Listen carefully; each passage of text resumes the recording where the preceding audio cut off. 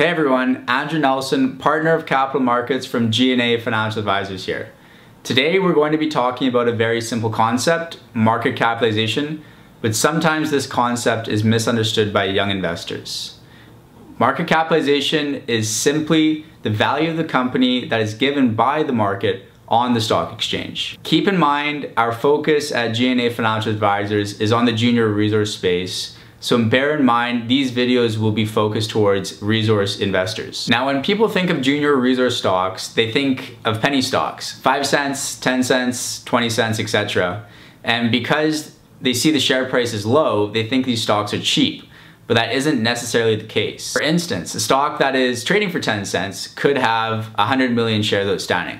So that would give it a 10 million market capitalization. Say a similar stock is also trading for 10 cents, but it has 1 billion shares outstanding. So that would give it 100 million market capitalization, which is a huge difference, obviously between 10 million and 100 million in the value of the company. So you see, it isn't just the share price that you have to look at, it's a function of the share price multiplying that by the shares outstanding which will give you the market capitalization. Behind me is a peer group of gold explorers and developers that we've selected that have less than 50 million in market capitalization and less than 2.5 million ounces in gold resources.